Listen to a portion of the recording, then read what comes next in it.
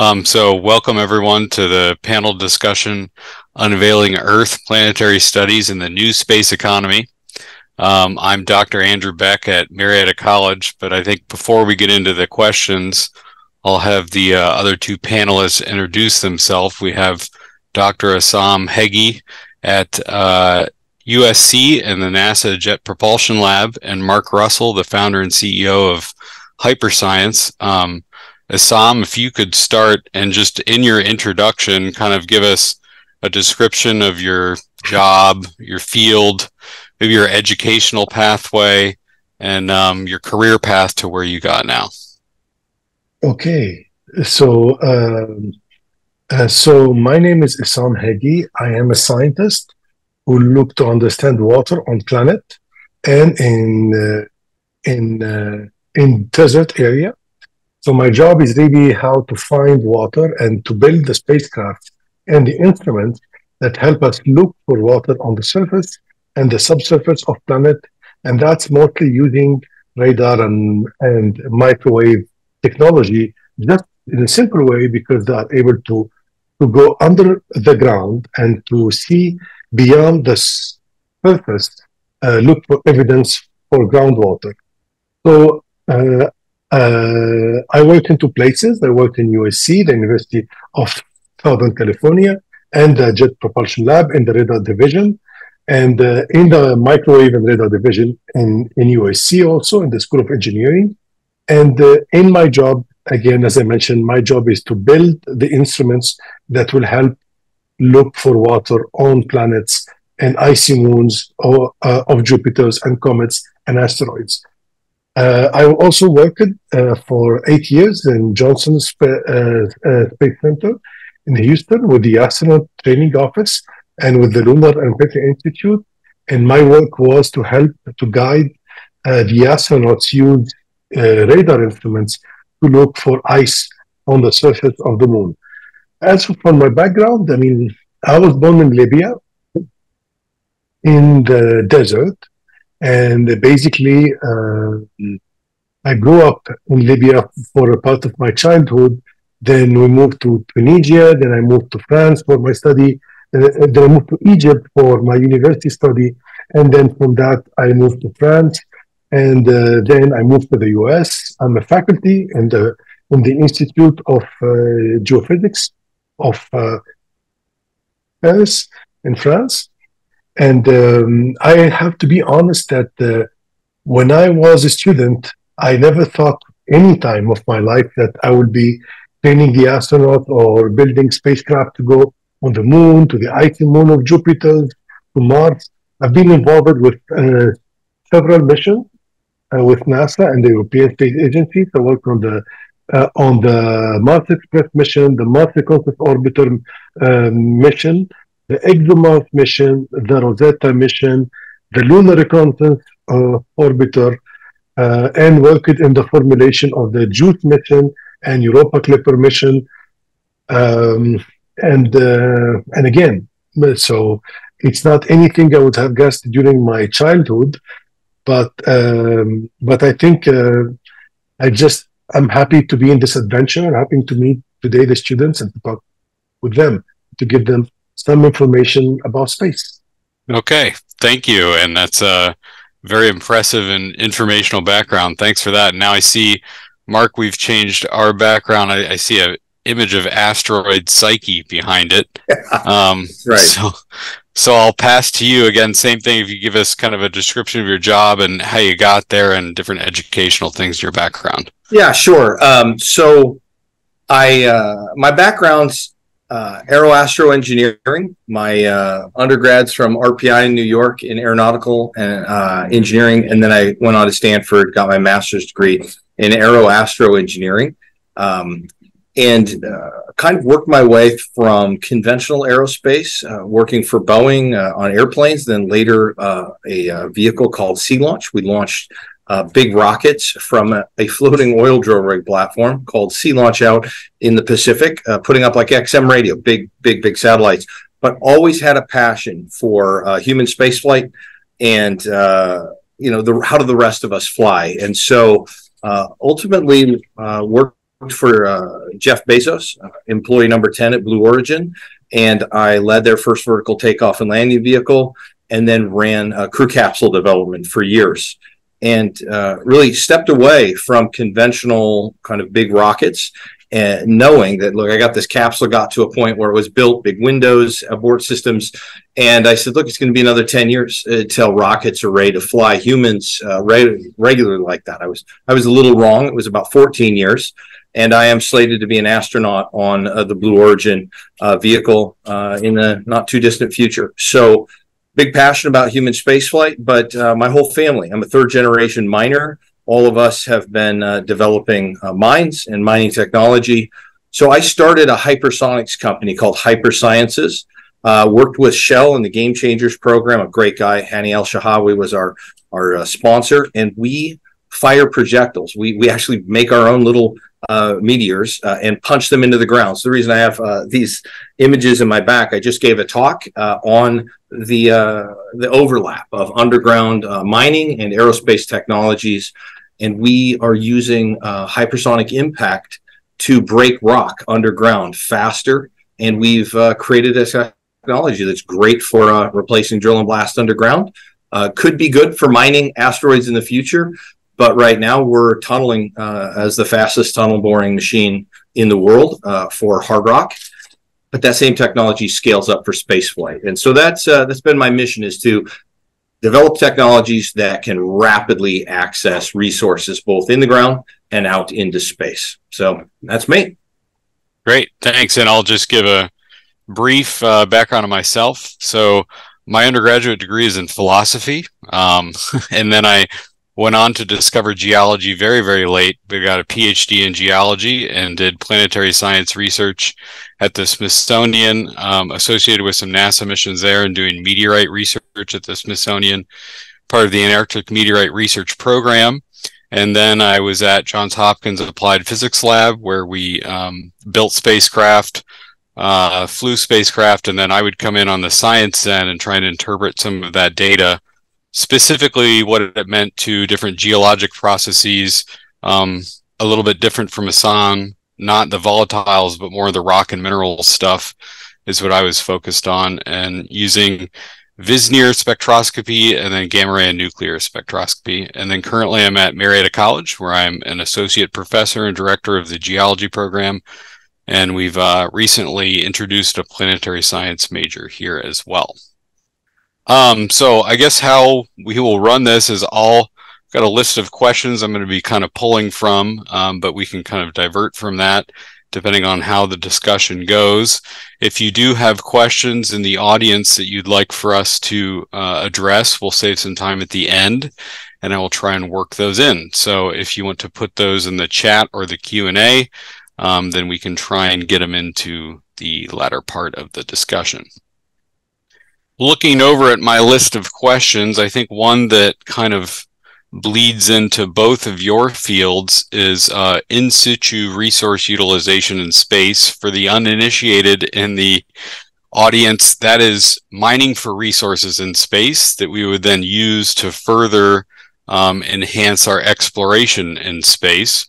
And I think that the panelists um, kind of stretch across both those interests because there's one avenue that is looking at utilizing uh, water and different volatiles, and one that might be looking at utilizing more hard rock materials. So, to the panelists, I guess I'll ask where do you see resource utilization or resource um, mining in space going in the next uh, 5, 10, and 20 years? So, we'll start with um, Essam, if you would care to address that?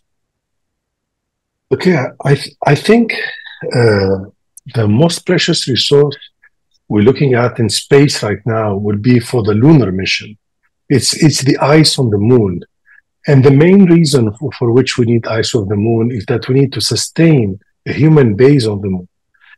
I think that that human base on the moon will replace, in a partial way, the International Space Station which become very expensive, which become complicated to uh, uh, operate, and also it depends in in a way or another um, uh, by the geopolitical context we are in. You need Russian rockets to reach it sometime, you need international co- collaboration in some cases. So a base on the moon will rely on easier, more sustainable way for human to be in space um, from which they can do a lot of observation which we cannot do from the earth like radio astronomy like infrared astronomy like uh, some of the experiments that are being made right now in the international space station. All of this can shift somehow not all of it a, a big part of it can shift to uh, a lunar base. And in order to to live on the moon we need water to, to generate of course the way to sustain humans but also the way to sustain the fuel, to make fuel to go back to the earth. So that's, I think, the first element. And then the second element, I think we need to be able to look at uh, um, uh, on planetary uh, object of the, of the solar system is a way to, to have uh, a methane that can help us also to go back from the far bodies we reach in the solar system. And uh, uh, and, and here, when I speak about the methane, I'm talking about a way to make the, the propulsion go back to the Earth if we go to a far body in the solar system. So to me, these are the two most important resources. Is one resource help us to sustain the life uh, of humans in, uh, in the base in these places, and well, the second one of them is to be able to help us to go back from these bodies we explore.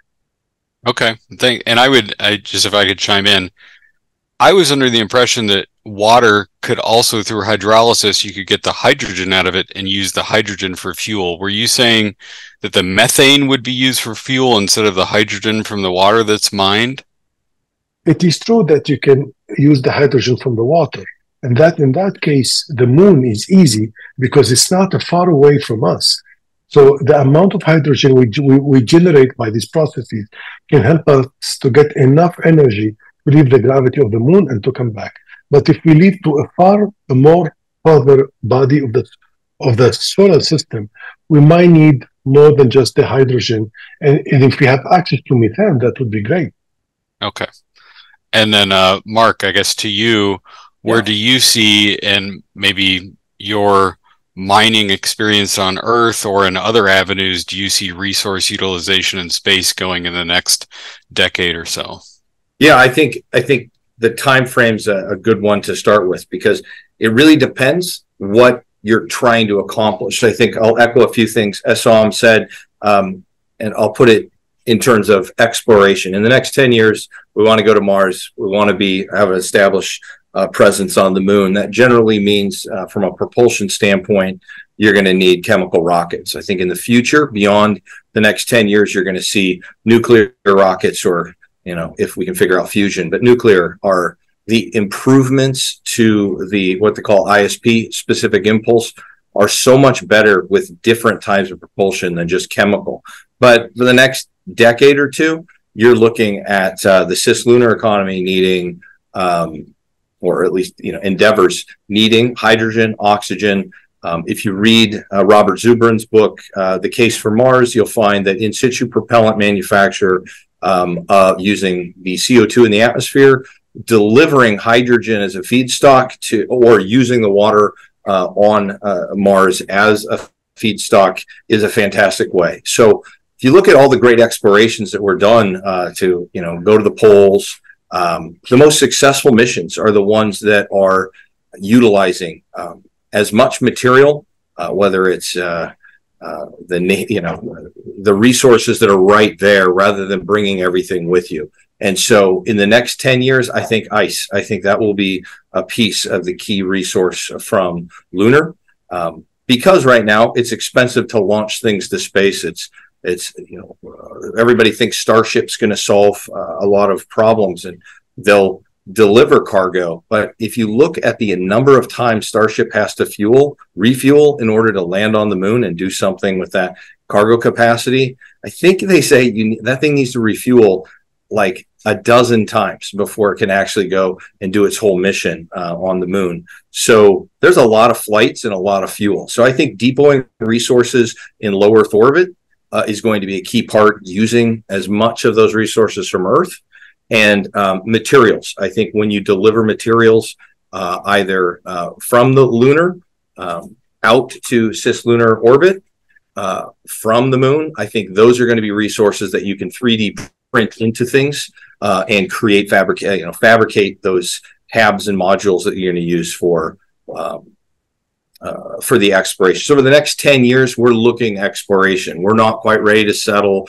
for probably the next 20 or 30 years. And then we're going to talk about actually establishing civilizations over decades, um, if not centuries. So minerals right now, think water, and you're thinking materials that you can 3D print with. I think those are you come from Earth, deliver them cheaply. So my company, actually, I have a, I have a separate company called Pipeline to Space, and that's our goal: is to lower the cost of access to space.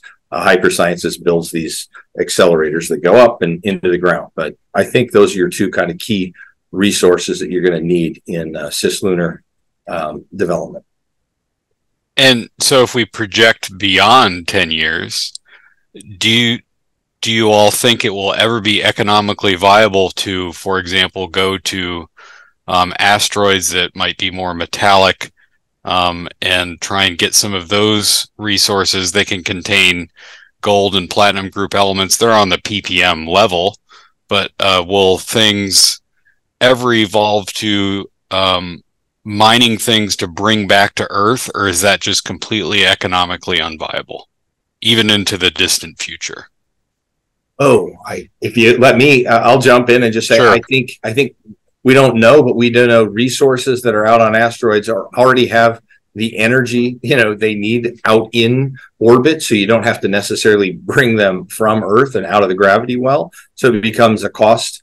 Uh, and what do you want to do out there? You can actually use those materials and actually there, there's all sorts of concepts for boring through them and using them as habs themselves. So it's uh, it's not completely clear that it, it wouldn't be. Uh, Bezos, uh, Jeff Bezos, calls uh, you know the future a place where Earth is zoned light industrial, and the rest of heavy industry is off planet. Um, that's a that's a big, you know, big broad future.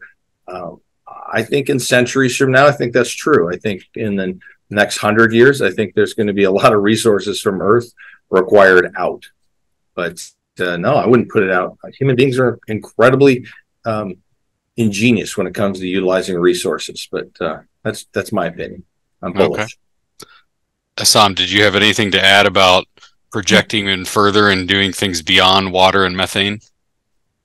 Well, I well, I think the idea of uh, mining space, I mean, um, uh, it's natural continuity of us thinking that every new place can be mined in the same way that the west of the United States was was inhabited by mining and flourished by mining industry.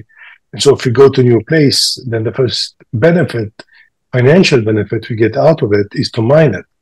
And I think the first financial benefit we get from going to new places is understand how fragile is our own planet and how these new places we go to mine they control the uh, the life, the fate of our life on For instance, the asteroids, uh, they they they were able to extinguish the dinosaur. Now, I mean, I know that this might seems romantic, but dinosaurs were bigger, much larger population than humans, maybe, and they, yet they did disappear because of their lack of adaptation to the the climate made by this impact. So I think the most precious thing here is to get even few the samples of these worlds, the new worlds we explore, not to mine them, to mine them, to sell them on eBay maybe, but but but really to to to use them in the lab to learn about the formation of these bodies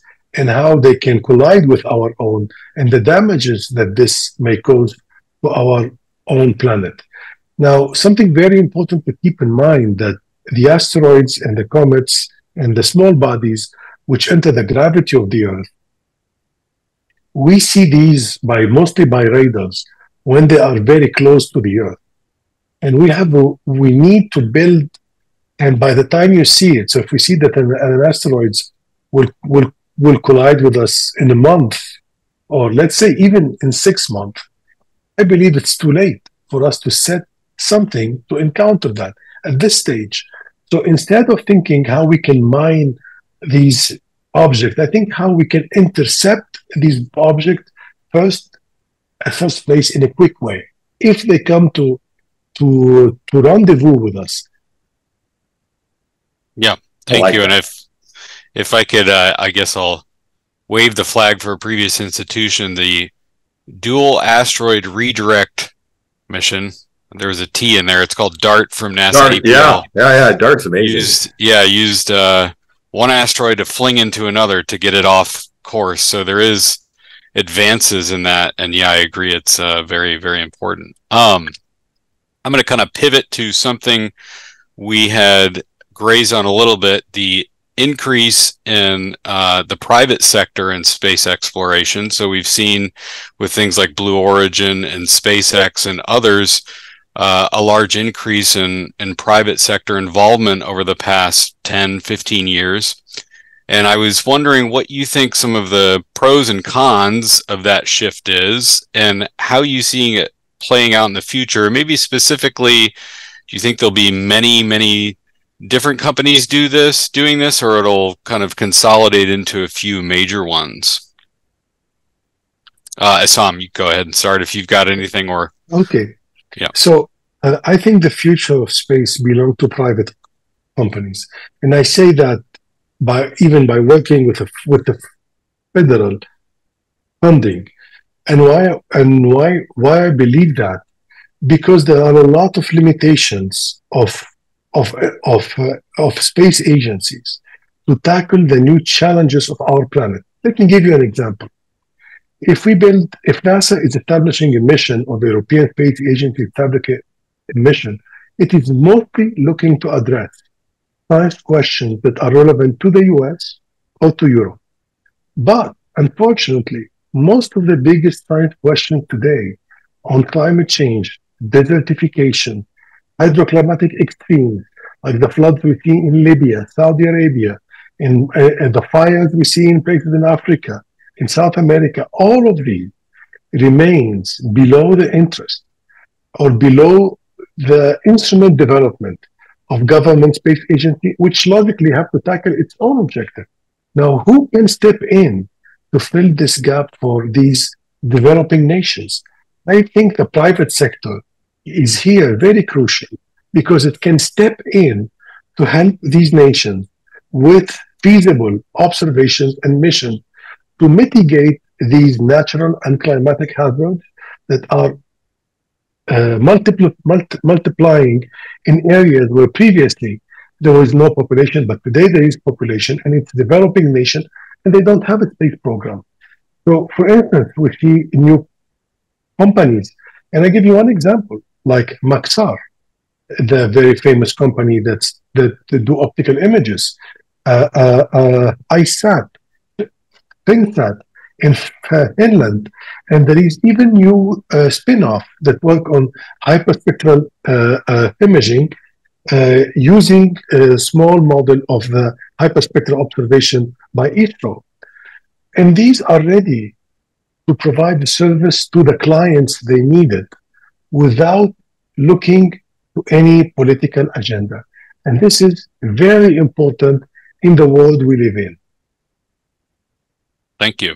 And uh, Mark, to you, how do you see the uh, development of the private sector in space exploration having positive and perhaps if there are any negative impacts and um, how do you see it playing out in the future oh i am so bullish about the uh, the uh, the commercial sector. Um, the I think the from here to you know we'll call cislunar. I think that is going to be incredible commercial enterprise. I think you get outside of our um, you know Earth's sphere of gravity and into Mars. I think you're going to see the big companies like SpaceX uh, and of course Blue Origin and others that are going to get large dollars for the big missions uh, that participate with NASA.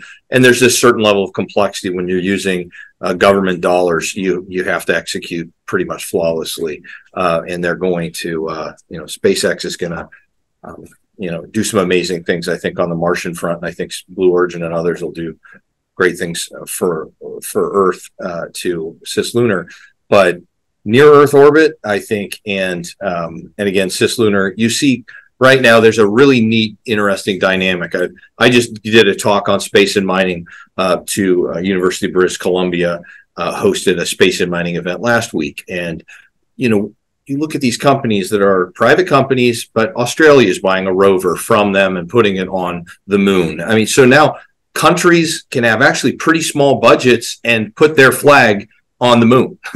and so it's great. So this interaction of private um, to public dollars, you see, you see Blue Origin's doing it. They're matching funds for the federal government. Uh, SpaceX has been taking money since day one uh, for these big endeavors, and so there's this entire economy. Imagine if you figured out after Starbucks that everybody was willing to pay five dollars uh, for a cup of coffee. There's a lot of small brewery coffee breweries that came up and so have made uh, you know this amazing economy. Same thing. So you look at, at all these um, other commercial analogies uh, i think i think it's it's the wild west and it's pretty awesome. Um, i'm doing it i'm doing i actually used an aerospace technology uh, leaving blue origin i had this idea that we could launch from underground to fly to space and so for a decade, I funded the University of Washington lab. They have a really cool technology called RAM Accelerator. It's a hypervelocity system. And so again, using research that was done, paid for by the government, and then beginning to commercialize it, I think it, it's just the natural fit for us to, you know, hand off the baton where the researchers have gotten to a certain point, and then you're on to commercialize. I my companies wouldn't really exist without these researchers like you, Andrew, and some uh, developing these things decades earlier, and then everything goes sort of nonlinear once you, you put enough capital into them. So um, I think it's uh, I think it's an amazing um, time. We are, you know, we're going to have multiple equivalent moon landings within our lifetime because of this, and we can. You know, I live in a time I got to work on something where I can buy a ticket to space now. I mean, it's mm-hmm. it's it's phenomenal, and I want to change the world for human access to space, which is why I started again pipeline to space, and you can see how that's uh, developing. It's pretty exciting. And um, I think you had mentioned that before, pipeline to space. Would you mind describing that a little bit more for me? I was didn't maybe catch all of that. Yeah, sure. I, would play a video if you wanted. I, it takes about a minute, but uh, you let you let me know. Uh, ultimately, we're we're creating um, an on-demand um, launch service that delivers payloads. You know, right now we're offering 200 kilogram per launch, and it's um, daily, regular flights. And what we did is we got rid of the big first stage booster. We have an in tube accelerator. It's a one part moving jet engine. Uh, there's no really moving parts. It sets up and it rides this projectile rides on a shock wave in this tube, and it exits at about one third orbital velocity. And then you have a really small upper stage that puts it into orbit. So we're able to recycle that system um, very, very rapidly. We use that a smaller version of that exact system, and we launch every 30 seconds today. And that's what we we shoot these projectiles that we mine with. So we got very good at loading and firing uh, at these high speeds. We knew we needed to go and uh, dominate the underground uh, kind of capability and now we're able to exit into the atmosphere. So we've been down to Spaceport America and launched there. We are poised to set a world's record for the number of times we fly to space uh, with pipeline to space. So it's uh, it's an exciting time. But uh, again, just a chemical um, tube, uh, you know, gas, uh, compressed air, natural gas, compressed air, hydrogen, very clean fuels that get rid of this big first stage booster and we fly what you really want to fly, which is your payload, uh, into orbit. And, uh, and then you recover and recycle the system um, about every 30 minutes. So multiple versions of that around the world off of drill rigs uh, or barges and, uh, and in the ground. And we see that as a network that radically changes access. You don't have to wait for a SpaceX to finally take your payload to hope that it's going to get in an orbit that you really want. You get it when you want. And uh, we're actually going live with a crowd fund um, in two weeks. Uh, so anyone can invest in my company. You can't invest in Blue, or, you know, Blue Origin or SpaceX, but you can invest in my two companies. Thanks. Um, this is going a little bit off script, but something I just right. kind of thought of when you were describing that. Uh, first, I'm going to start it with a short question. Uh, Essam, when you were describing the things you do, you said I build instruments, I, I do this. Are you more of an engineer or more of a scientist or kind of both? That is a good question. So I'm actually both. So for instance, uh, so for instance, I am a social professor of uh, geophysics in the Geoscience Institute in Paris, and uh, I, and I am and um, I am research faculty in the electrical and computer engineering department of USC and I was a, a, a research faculty in Caltech in the geology department and a researcher and, uh, and I am a scientist in the uh, radar science and engineering in JPL. So it's basically between the two worlds, between science and engineering. What I love about uh, JPL, what I love about my work, that you do everything from end to end. We start with the mission on the napkins, uh, a draw uh, on a paper, to the to the design, to the performance study, to the to the fabrication of the mission, to the launch, to the operation, to data analysis, to publication. And I've done from these missions end to end, which the mission was did not exist. I mean, I followed the work from end to end on four occasions, and I'm now the PI of one. It's a NASA mission concept to look for groundwater and understand sea level rise on Earth uh, using a sounding radar. And uh, it's really a very enriching experience to be between the two worlds. And actually, space is one of the rare disciplines where the barriers between these two can change. You see engineers doing science and scientists do, doing uh, engineering and vice versa. Uh, yeah, so that was a kind of the reason I brought that up was it sounds like and I think I'm right. Mark, you're very firmly an engineer, correct? Yeah, I spend a lot of time raising money, but uh, yeah, I spend uh, a great deal of my time uh, with uh, direction of the architecture of the systems. But if you don't have those technical insights, uh, it's hard to make those jumps if you're pure business. So. Uh, if you ever read how Google works, the first 20 pages the rest isn't probably worth it, but read that first 20 pages. Just if you want to know how things work, ask your engineers, have that insight, and uh, and they'll always uh, impress you with uh, how you can see the world a brand new way. Right. I but what I'm getting at is so I'm a scientist, I am in no way an engineer. like when you're describing the different things of building, I just my interest is in the why it's there. Let me understand the science behind it. Mark, do you work with scientists in your field a lot? And if so, could you describe how you work with maybe geoscientists or more people that oh, are science yeah. oriented?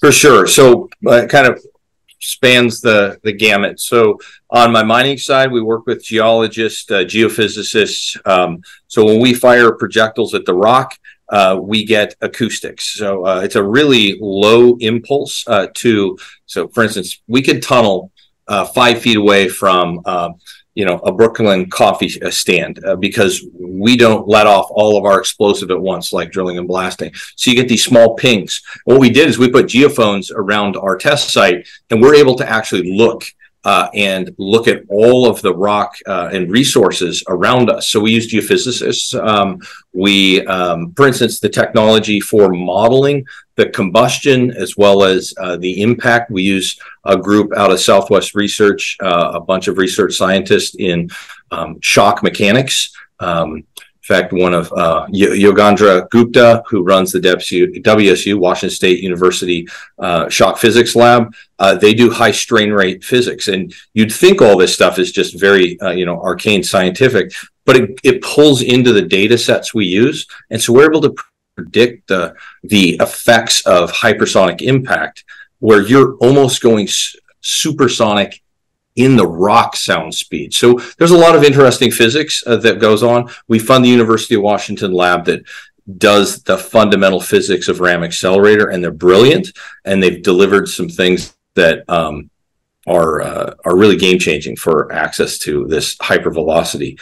So yeah, I, I would just say we kind of the gamut. And if we didn't have them, uh, having done that for decades before, again, they allow us to have that great technical base, and then we just yeah engineer the solutions that that architecturally work for um, you know the economy we're trying we're trying to to intercept. Um, and one thing that I had kind of come up with when you when I had looked at a little bit about your stuff online, you had mentioned this before. You're shooting small projectiles at hyper velocities to do mining. What is the composition of those projectiles? Maybe you're not allowed to say. I don't know if it's proprietary or not, but no, and how did really you come simple. up with that? They're made out of concrete. okay. so when uh, it's really about a cost value. When you're underground mining, you want uh, you want to be competitive with today's existing technology, which is pretty Neanderthal. You have a couple of people underground drilling, and then you load the explosive, you run away, you ignite, it blows up, you wait to vent. So it's a very sequential, old fashioned process. What we do is we change all that. We just individually, with multiple barrels, we're shooting every few seconds.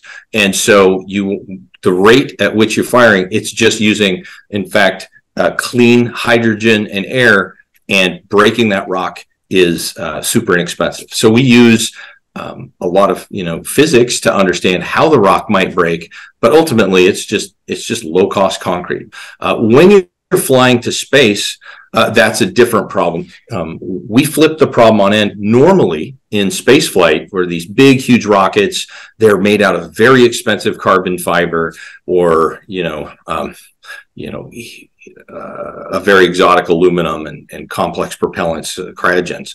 What we do is we make our projectiles actually out of steel, very, very heavy and very uh, inexpensive because we put the energy into it underground, super inexpensive.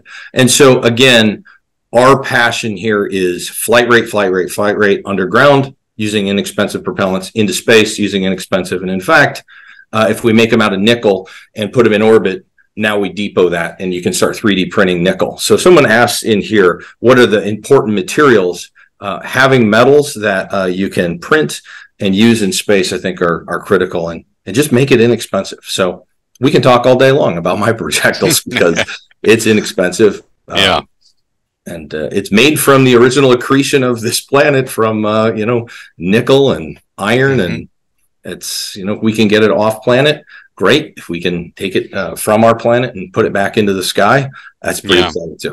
Yeah, there's a lot more iron nickel floating around in space than we've got yeah, rocks yeah. on Earth. You got to yeah. go take solar energy, powder, powderize it, and you can now 3D print an entire vehicle and a hab uh, right there. Mm-hmm. Yeah.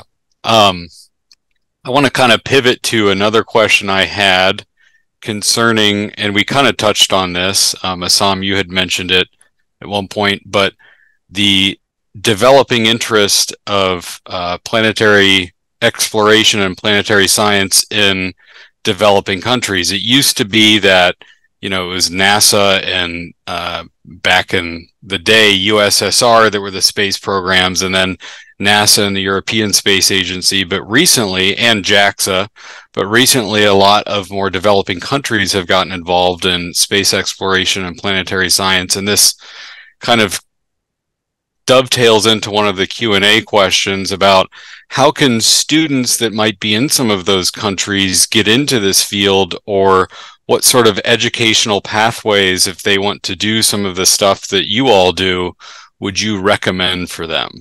If Essam if you wanted to start with that. So yes I agree with you that developing nations are t- today uh, have a lot of needs to be in space. And space is is a necessity for every society. It's an it's an obvious necessity when it comes to things like uh, communication system, positioning systems, but it is less of a necessity. It is less understood as a necessity when it comes to resolve issues related to resource management like water, to understand the risks of of uh, the climatic risks, uh, um, like the storms, the hurricanes, sea level rise, so, and and that is quite uh, that's where developing nations are trying to get to, is to use space technology to mitigate risks or water resources or agricultural resources issue they have. And I know that that this might be uh, look for many people they, they can say okay why they don't need the data that is available online well because the data that is available online may or may not uh, respond to all the needs which they have in terms of resolution in terms of the frequency of the uh, of the acquisition in terms of the sensor being used uh, uh on this platform so that's where, where I think a lot uh, of the interest by developing nations uh, in space. Now, the students from developing nations are also interested in space. And a lot of them, like me, will come uh, to study in Europe or in the US with the objective of developing or new technologies to make space exploration more affordable, which is exactly what Mark is working on. So I believe that the private sector and the developing nation both have same objective, which to make space exploration accessible to a larger group of people. And that's where I see that there could be more leverage in the future and more students in the future working or making an, an uh, internship in the in the private sector and they same the same objective and as they don't have the issues with ITAR and all of that, I mean, not so not so strong as you can find it in the federal lab. And I think every discipline can lead you to space. Geology, geophysics, remote sensing, electrical engineering, mechanical engineering, even accounting. I don't know a single discipline that you can learn in a technical university in engineering or science that is not useful in space. Thanks. And Mark, um, uh, to you, how could students in developing countries um, really get to a path like you did, and what recommendations would you have for them? Uh, sure. I, I, think there's a couple key ones. Uh, we have a project, for instance, um, in Asia. Uh, it's uh, it's actually in Sri Lanka, and it's uh, it's a developing country um, that has incredible resources. So, what I would say is, if you're a, uh, a student, um, I would spend some time learning AI. I think AI and machine learning and using data sets from space, such as, like uh, said, uh, water resources, actually mineral resources, look each one of these countries now basically can dig through a, a, an incredible database that each country has a geological survey. They actually have entire water resource studies. Um, and if if you want to if you want to develop um, you know an incredible standard of living looking what you have in your resources underground HyperSciences funded by shell exxon and some other major companies we used our technology uh, for five years to learn how to fly fast, actually underground in a small drilling situation where we could access geothermal. There is geothermal everywhere on this planet. You go five kilometers, it's 25 degrees C per kilometer.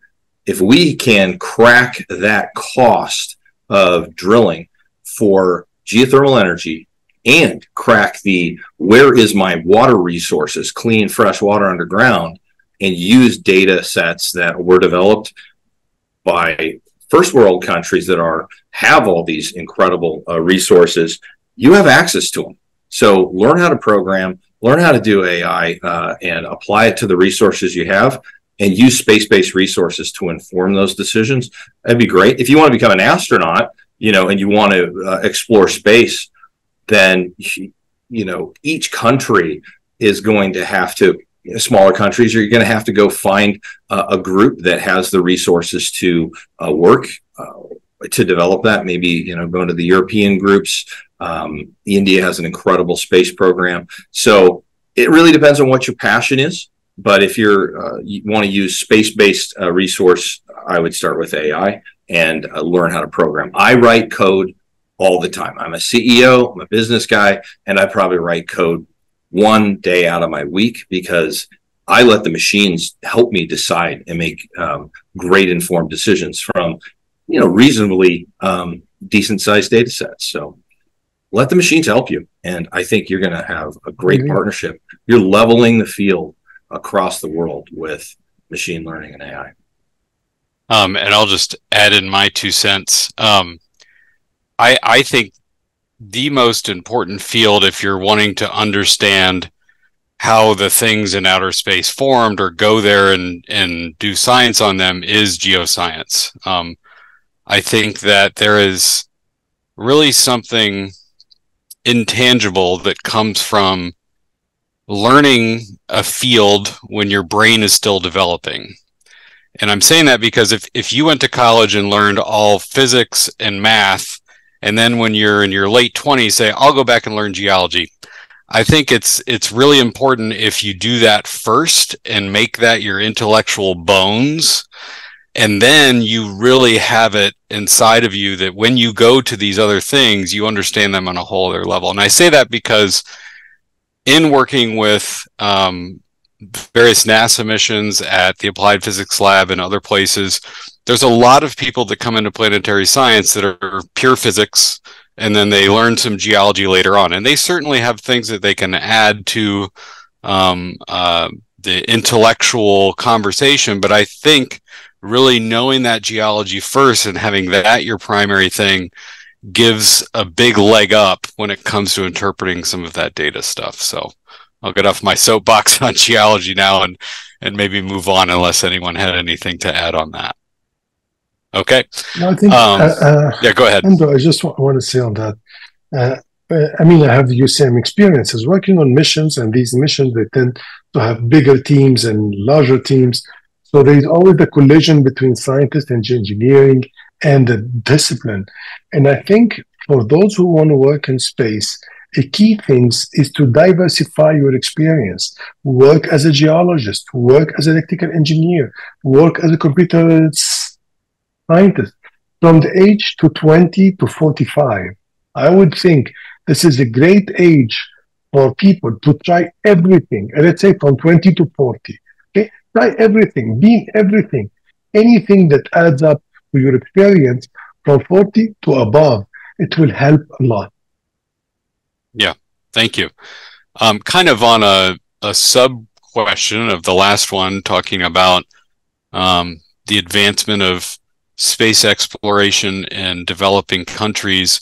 Do you think that those space programs have any advantages over the space programs that are in the um, more traditional space exploration countries? Like, is there anything that they can do or hurdles that they don't have to overcome that gives them an advantage?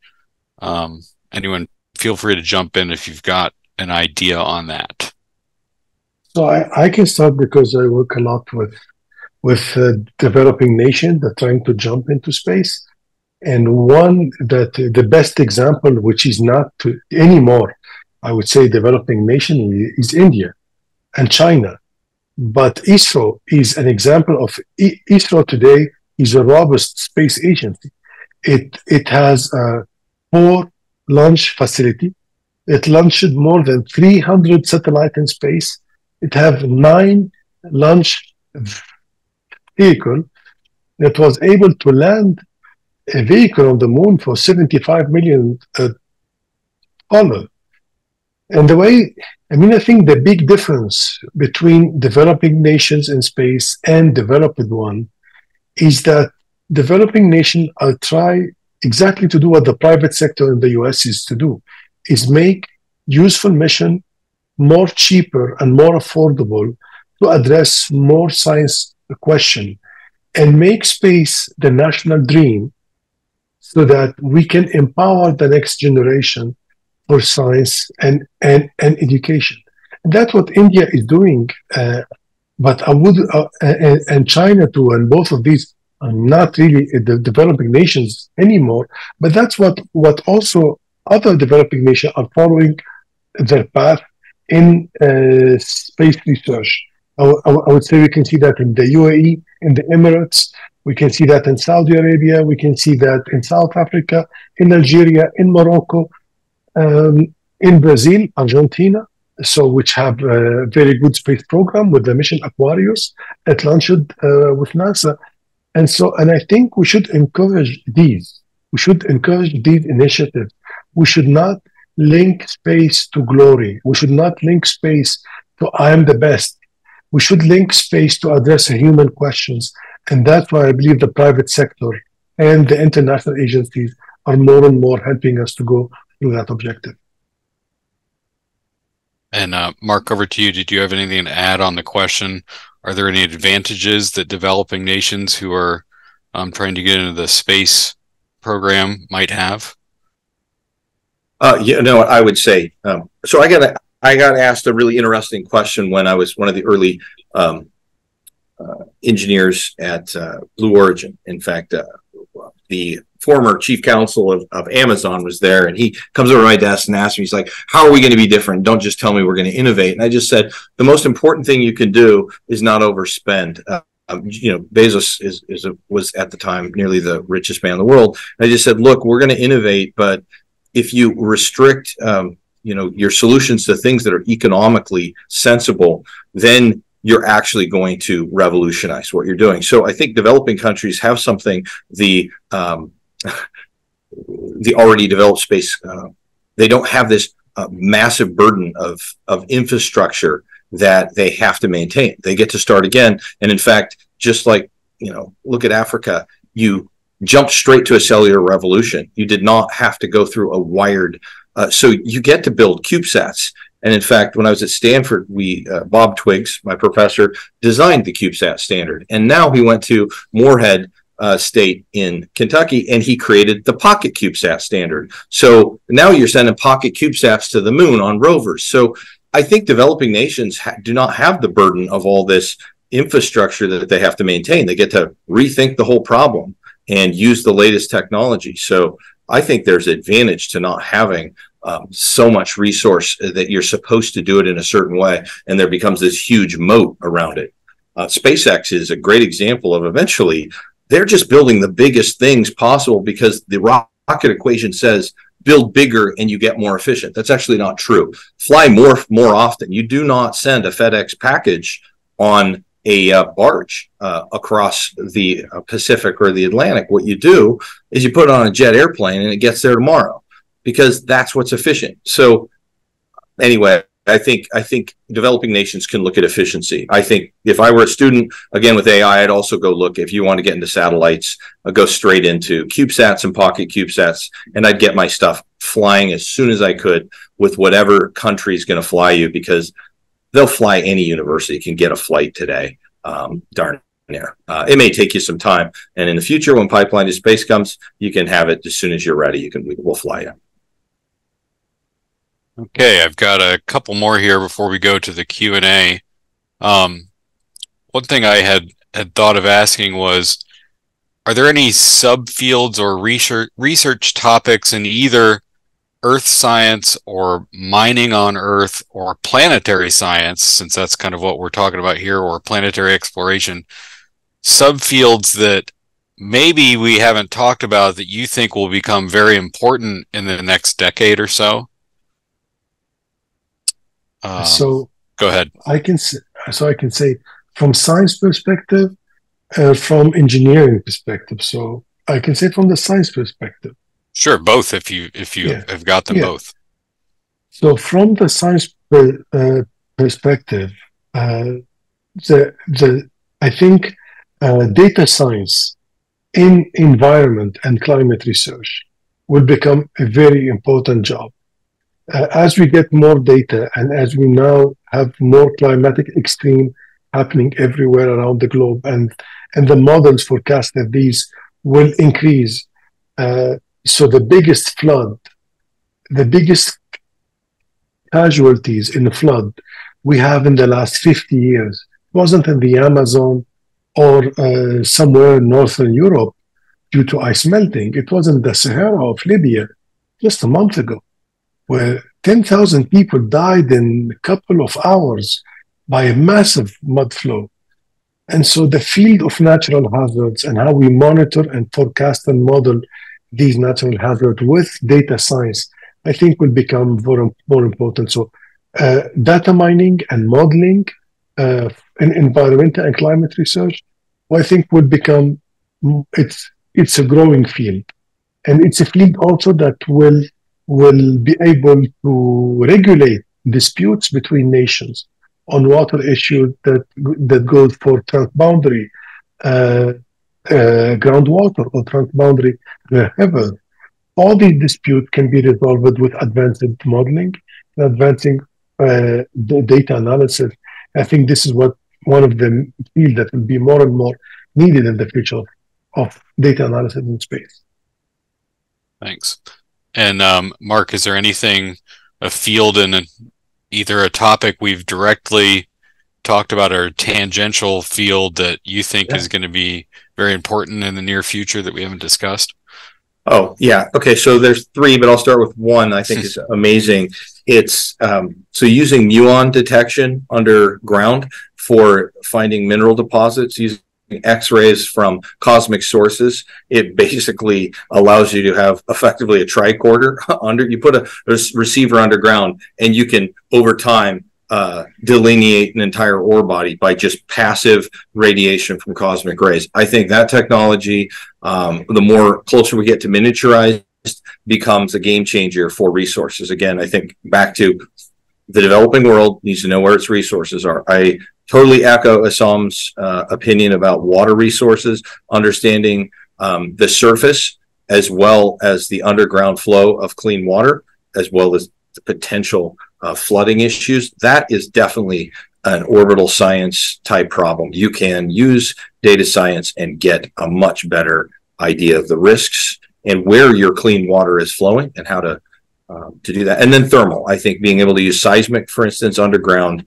for us for geothermal, I think it's a it's a game changer as well as for other natural resources. So uh, detection underground, cosmic rays, water, and um, geothermal resources.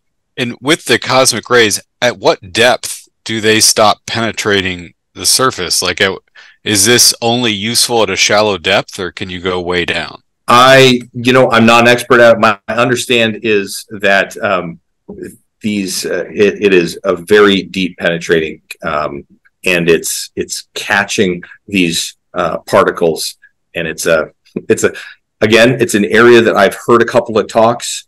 Uh, I think it would be if it ends up doing what they have demonstrated in a few key projects. So they what they've done is they've gone underground in mines that they already know what the resource is, and they've stuck the machines down there, and that has been able to do an A/B map between the two. The real the next question is okay, go to a completely virgin site, and then you know drill a hole, stick it in, and wait for it to acquire. And I think that's uh, I think that's an interesting piece of physics that uh, is going on and could totally revolutionize um, geoscience, particularly resources in uh, developing countries. And I guess I'll answer my own question as well. And this is maybe low hanging fruit. Um, it's a bit broader, but critical minerals and specifically minerals that contain elements that are going to be useful in batteries or even nuclear reactors because I think that um, the United States and the rest of the world is going to have to go nuclear at some point if we're going to stop using fossil fuels. So I think the geoscience fields that are aimed at locating and mining those specific minerals out. I'm not talking about just iron ore and that sort of thing. I'm talking about like lithium and other uh, uh, things using batteries and then radioactive sources for reactors. I think that will be a very, very hot topic uh, in the next decade. Um, totally agree. 100%. I couldn't have said it better. Yeah. yeah. Um, uh, kind of another question that was tangentially related to one that showed up in the Q&A, and we'll get to those in just a minute. Um, uh, yeah. A lot of times, folks uh, at least I'm familiar with, have thought, well, that's great. You're flying to the moon or Mars. What does that do for us on Earth, sort of thing?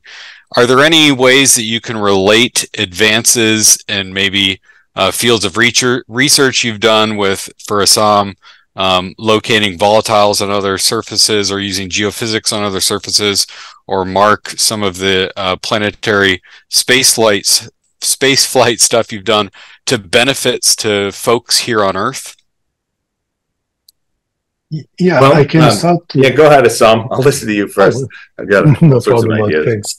So i think I, I hear this thing many times it's everywhere that uh, space is not a necessity.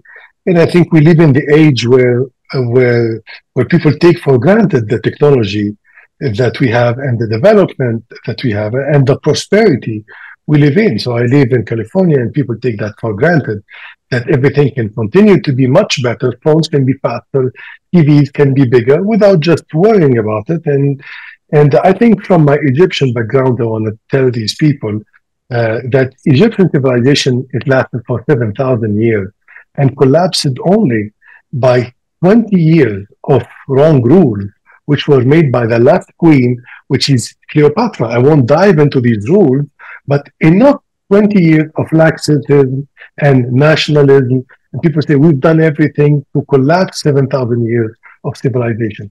But when it comes to space, it's exactly the same thing. This is not a luxury we can't understand how our planet evolved without studying the sister planets of our planets. So you can't understand how, uh, say, Japanese people are if you just know one Japanese person. You need to, to need to, to, to see other people, and then you will have a global idea about the culture, uh, I mean, the traditions, and all of that. It's the same thing here. Looking to our planet just underneath our foot and claiming that this will help us understand global phenomena. It's illusion. Reality is not what we see. Reality is what we have to explore. And that's what space research is all about. And Mark, did you have uh, some to add to that?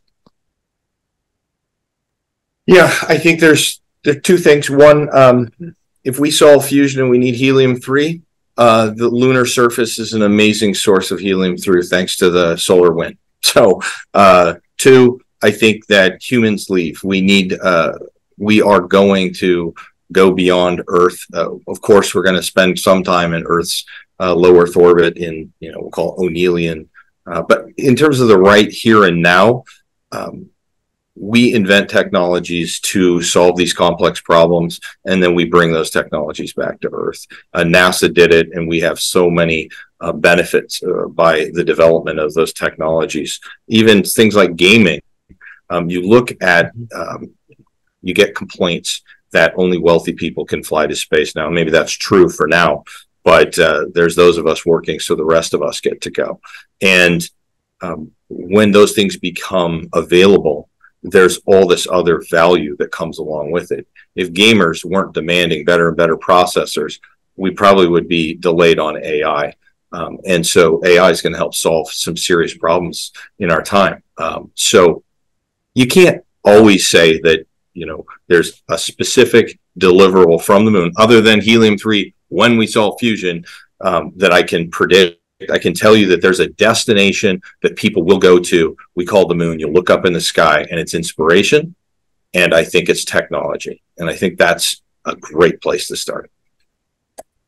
And um, I'll just chime in with uh, a science sided response. Um, it explains the ultimate question why we're here.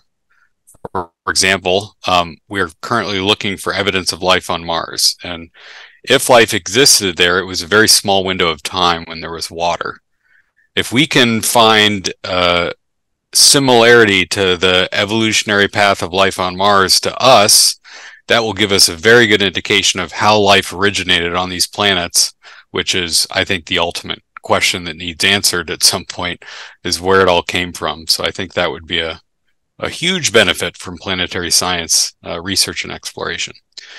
Um, I'm going to take one from the Q and A that I think uh, is probably geared towards Essam. Um, it says, "How is an Egyptian graduate student in the field of earth science could I get free or funded uh, training to visit NASA?" So I guess it's as a Egyptian graduate student in earth science, how can they get involved in NASA related things? Yes, that's a good question. Actually, I was doing my PhD uh, uh, through an, aid for developing nation on the most boring topic on the planet is to find water in the desert. I mean, I come from a desert. I was born in one, and so an international agency gave me, gave me some money to study water in, in the deserts, and uh, uh, that was in 1998. And I was so lucky in 1998 that space, the uh, the mission, European mission, the was called at that time Mars 69, exploded on the launch pad, and they were looking for people to help uh, find a new technology in the next Mars mission, which was called Mars Express, to look for for water on Mars. So I was expert in looking for water on the desert. When I did my presentation in my second year of my PhD, uh, somebody from the European Space Agency, uh, which was there, said, "This is great, but everything you do is perfect. But we need to do this on another planet. We need to use this radar technology to look for water on Mars." And that was the Mars Express mission. I worked on the MARSIS instrument. I did my PhD on that with the Netlander instrument also. And then from, uh, from that, the, the, the Mars exploration has picked up a lot. And they needed people who are expert in, in desert environment and that's how I jumped to the postdoc in NASA in 2004.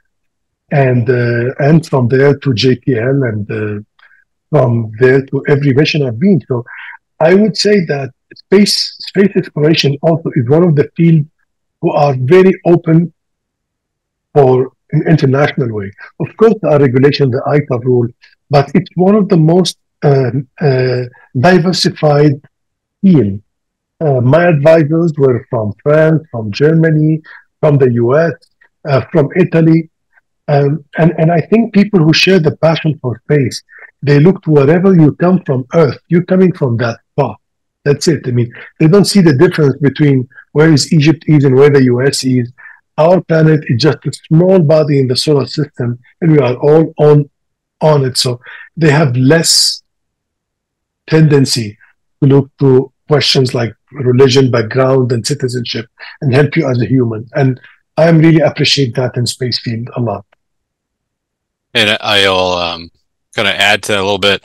Uh, so one of my the hats that I wear is a meteoriticist. So I specialize in meteorites, and um, mm. those are rocks from outer space. So you want to touch an asteroid, you want to touch the moon, you want to touch Mars, get a meteorite. So it's doing Earth science um, on rocks from other planetary bodies. Anyway, there's a uh, international organization called the Meteoritical Society that offers um, discounted and oftentimes heavily discounted membership rates and travel grants to go attend meetings.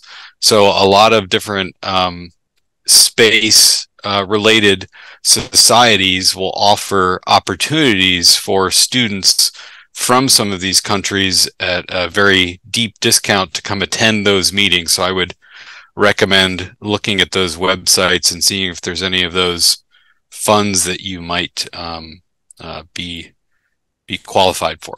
So uh, there was another question in the Q and A that I think is directed towards Mark. Um, I'm not sure if you can read the Q and A, but it says in there, can you explain how you deploy payloads through pipelines? and what is the maximum weight you can deploy? Does that? Yeah, sure. And okay. Uh, in fact, right behind me, I uh, I keep changing my background from uh, underground rock breaking to to our space flight. So uh, we encapsulate in um, in a what's we called uh, a TAV, a transatmospheric vehicle, which you see that slender body, and uh, and then it opens up, and there is a very small uh, two-stage liquid-fueled rocket that goes off. It's it's a mass-produced system, and so your payload uh, goes up very much like a traditional small satellite uh, type payload with a clamp band interface uh, or um, a, a, uh, small satellite dispenser, CubeSat dispenser. So um, it it looks and feels. Uh, except we just integrate things faster and it travels inside this very nice protected cocoon, which has mass uh, that carries it uh, basically gently through the atmosphere and then opens up once there's no atmosphere you then inject into your final orbit just like a just like a standard rocket. You just didn't have that big long big rocket. You you came out of the ground um, with it. And we just have a subterranean um, you know payload uh, loading facility. And did sorry if I missed it, but did you mention mention the maximum weight that you're able to take? Oh, uh, right now our target for cargo is 200 kilograms. Uh, we're capable of the system's capable of being scaled to one ton uh, units or higher. But right now, our entry to market over the next few years will be the 200 kilogram uh, mid satellite market and and kind of repetitive cargo. Uh, with our systems, we'll be able to deliver more cargo to orbit than any other system annually. And what sorts of um, things do the satellites that are deployed into orbit do? Oh yeah, for it's the same. It might be replacement satellites for um, okay for any of the constellations. Remember, today you're getting um, you know satellites uh, systems that have thousands, if not tens of thousands, of satellites going up. Starlink's one of them. Um, uh, you know, Amazon's putting up their their I think it's the Kuiper group. Uh, there's a whole bunch of these big satellites, of OneWeb, and if one or five or ten of these satellites uh, go out, you have replacements that they need. And if you understand Moore's law, uh, I worked at Intel for a number of years. Every 18 months, the speed of the processor doubles. And that means all your technology you just put in the sky 18 to 24 months ago is now obsolete. So it is time to replenish and rebuild. And in the event that uh, you know we have excess capacity, which we will, uh, we start depoting and putting up water and fuel and uh, materials to 3D print. So we're putting those meteors back into the sky so we can do something with them up there. And then later we'll go. We'll talk about leaving and lassoing that technology, uh, you know, from asteroids. Okay. But right now, yeah, just delivery, cargo, anything.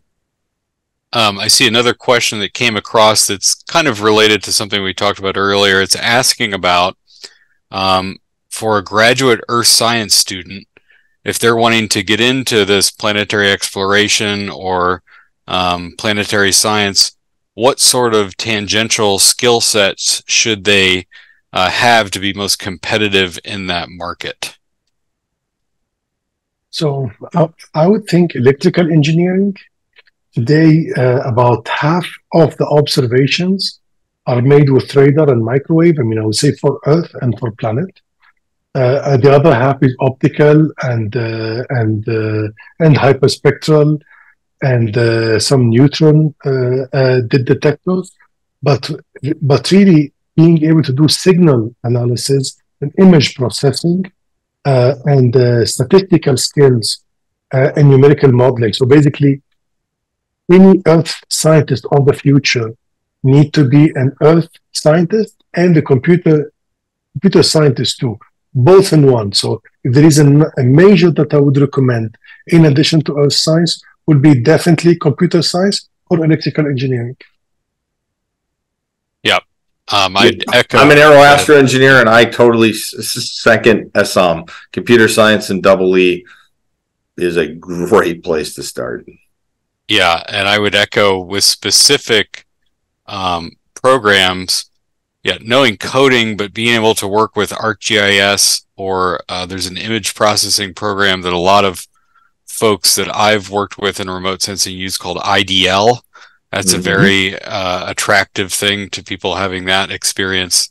Um, I would add to that the the things as an earth science student, what you'd want to to have under your belt to get into planetary exploration collaborating with engineers and physicists because that is a necessity in the space exploration field is working like we've talked about several times on this um, on this panel working with uh, folks with a diverse background. So maybe taking a few classes in engineering or physics if you don't have any um, or having some experiences that increase that collaboration i think can pay dividends in the future I agree with you. I think what's important is that you've trained your trained your mind in a discipline, and that you've learned how to learn. And whether it's you know uh, planetary science, or it's computer programming, or it's business, uh, that you've gone through, you've got yourself to a point where you can sit down and learn anything. I left Blue Origin. I had not spent a minute in the mining business, uh, even though I'm a third generation miner. I left, came back and I deployed some very complex sensors underground. We actually used grav survey tools that only the oil and gas and planetary scientists used. And we did so in a mining, first time to do it in mining. And we were able to detect a huge ore body with one single drill hole. And that took a lot for me to understand. In fact, I had to go learn ArcGIS. I had to go map and I get a full appreciation of how now we can apply machine learning and AI to things that it took me a good five, six years to go from being an aerospace engineer into actually being very capable of talking about geophysics. And it's just at least you have the background to then learn how to learn. And so I just recommend pick a discipline and then, yes, go try some classes, like you said, uh, of areas you want to seek out. Um, I'll give an opportunity here if either of the panelists had a question for each other or thought we uh, should go over something that maybe we we have not. Does anyone have any? Well, I do. I do. Go I have. So we're getting ready at Pipeline to to fly a lot, and in fact, what we do is we'll take payloads for anybody uh, to try different things. We're going to fly out, likely out of Spaceport America uh, like we've done in the past and repetitively. Ideally, we'll collect your your sample, uh, but uh, we love to hear from you on what things you'd like to fly. And they're small form factor. These are you know things that are be 10 millimeters in diameter, maybe 20, 30, 50 millimeters long, little small cylinders, but we would pack them and then recover. So I'd love to hear from anybody who wants to try things. Um, so it's even a, a nanocube sat uh, standard or cylinder sat standard, something Love to hear from you, Essam. Andrew, you want to throw some meteorites back into the sky? Sure. Collect them again. you tell me. So, Mark, so uh, Mark, I think uh, uh, I'm very excited. I was very hopeful to see the video. Actually, your your video, if we can see it, that would be great. And I think we should have a chat one day about uh, uh, low Earth orbit uh, insertion with your company because there is a lot of potential, uh, especially for groundwater mapping uh, mm-hmm. using low Earth orbits, VHF sounding radar. And so, uh, and these are made on mini sats, and the launch is a big expense actually, and they can only stay in space for a couple of years. So, if we have a cheap way to replenish these in space, that would be really a great advantage. Well, you got your wish. I'm sharing my screen. I don't know if anyone can see it, but here's the video. I don't know if you can hear it. Yeah, we can. Yes. Putting a satellite into space can cost tens of thousands to millions, and there's a wait list for years. Pipeline to Space has developed a new hypersonic launch system to deliver cargo that will endlessly fill the supply chain to space. I'm Mark Russell. I'm an aerospace engineer and I'm founder and CEO of both Pipeline to Space and. Sorry, I kind of dropped it there, but. Uh, All right. Companies are revolutionizing access to space. Hi, I'm Greg Seymour. I'm the co-founder of Pipeline to Space. I'm also an aerospace engineer with over 35 years. And Greg was chief architect at Blue Origin. At Pipeline to Space, placing that first stage booster with a ground system filled with propellant that's able to propel space-bound vehicle through the propellant, through the ground infrastructure, and emerge at hypersonic velocities. From there, we have a small liquid rocket that takes it the rest of the space. We eliminate entirely the big first stage booster and change the entire paradigm for safe, low cost, on demand space launch from land or sea with the global space economy's value predicted to top one trillion. Well, I don't want to spe- take all the time, but that's uh, that's what we do, and we use small versions of that to break rock uh, in the ground. So we're we're really okay. good at flying things fast. But uh, well, thanks. For, yeah, thanks for sharing that. Yeah, always always happy to. It, it was a bit dichotomous for me to leave space uh, space company, go into underground, but knowing the long term vision was intact, and that took me, you know, a decade plus to get both the underground tech and you know understand geophysics and ge- you know geology as well as uh, now we're poised to build big long tunnels that launch things uh, and eventually um, we'll call it lower G uh, capable payloads. Yeah. All right. Well, I think we're out of time, but thank you, Essam and Mark, for attending today, and uh, thanks for this great conversation. And I Well- hope to see you all again soon. Yeah, uh, go ahead and, and uh, if anybody wants to, just hit me at mark uh, pipeline to space dot com and or please you know reach out to Andrew and Essam. Uh, they know how to uh, get to me. So thanks so much. Yep, I'll see y'all. Bye. Okay, Bye. take care.